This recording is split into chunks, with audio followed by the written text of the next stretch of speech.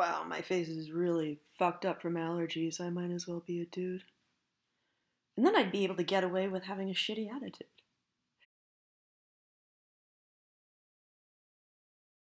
Alright, my first video review of another author's book. I need to say another author because I found from experience, hard, bitter, cold experience, that uh, if you review other people's books, people tend not to see you as an author in your own right. I don't know why this is. I think because people tend to see reviewers as their own personal uh, publicist.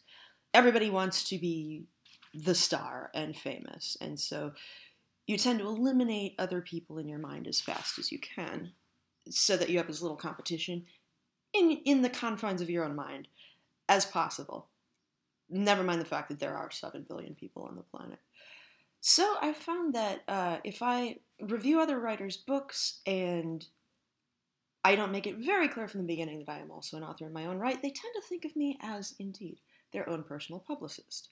So I'm beginning with another author who has already reviewed my book.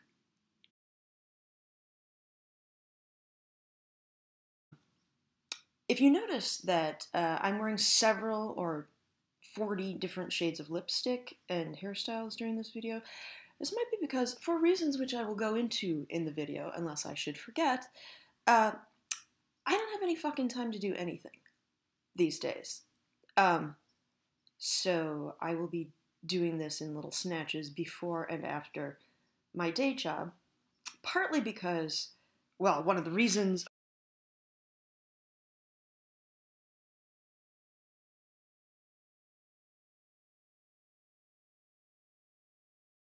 views on YouTube instead of writtenly as a female because everyone tells me, well, people like to look at girls. You get a lot more hits if you would doll yourself up and do it on YouTube. Of course, what they don't realize is putting on makeup and shit for a woman isn't. Yes, it can be used to manipulate people and um, get people to watch your shit, even if your shit sucks. But not doing that is sort of an affront to your dignity. I mean, imagine if I were just wearing my pajamas and shit and sitting here. Um, that wouldn't really work. In fact, it would do the opposite of working for me. So, uh, I can't just roll out of bed and do this. I have to do it when I'm all dressed up to go to work. Because, well, life on this planet stinks. And that is by and large the theme of the excellent book that I'm going to review the next time I get five minutes.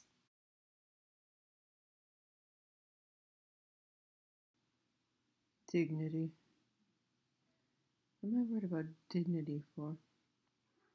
Say dignity is so 1994, but I don't remember it being a thing then either. Dignity is like 1922. So, Moristoun by the Scottish journalist Kevin and novelist Kevin McAllion. Um, it's about suicide, uh, but it's a very funny book about suicide because premise is that, um, well, I don't know about the rest of the world, but people from Scotland who commit suicide wind up on one of several, maybe a dozen, stranded islands outside of Scotland, serving a sort of purgatorial sentence until they figured out what went wrong with their lives and what went has gone is continuing to go wrong with their afterlife. And uh, I don't recall Scotland still being Catholic, but it's a very Catholic concept of having fucked up in life. Uh, I don't know.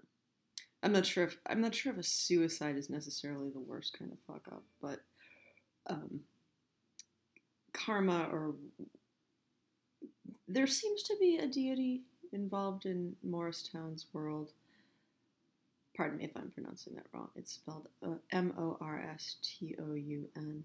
Um, there seems to be some sort of god involved in Moristoun's world, but nobody meets him. He's kind of a peripheral character or force.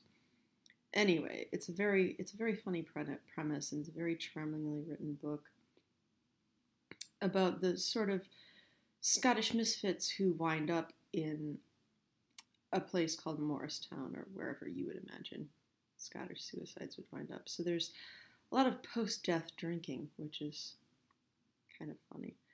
Um, the main character, or sort of one of the main characters, is a guy who was trying to commit suicide but was talked into not committing suicide by a denizen of Moristoun who's been there for a couple of hundred, hundred years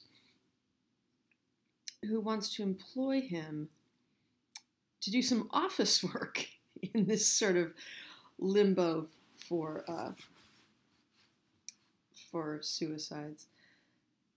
And a, a, lot of the humor in the book is generated by the fact that there's a lot of um, I don't want to give away too too many spoilers, but there's a lot of bureaucratic horseshit involved in um, dealing with people who aren't dead yet in Moristoun. There are two people who aren't dead yet. There is an orphaned girl um, named Gail who's very beautiful, and of course, she's the only good looking person in Moristoun. Except for the guy who's been dead for, I think, 300 years. His name is Buchan, and he's very charming and dashing, and I suppose he's the romantic hero of the story. Although uh, his heroine is on a different of a, a, different one of these um, Scottish dead people islands. Um, it, was one of those star-crossed loves that occurred before you were allowed to commit adultery in polite society. So they both killed themselves and wound up on separate islands, trying to get their shit straightened out in the afterlife so that they can go on to whatever the uh, next attraction in the afterlife is. And it's got to be more attractive than a rocky island off the off the coast of Scotland where all there is to do is pretty much drink and look at the other suicides. Um, so he doesn't seem to be that annoyed about it, but I'm annoyed on his behalf. Um, I don't think it costs very much either, so I would give it a go if I were you.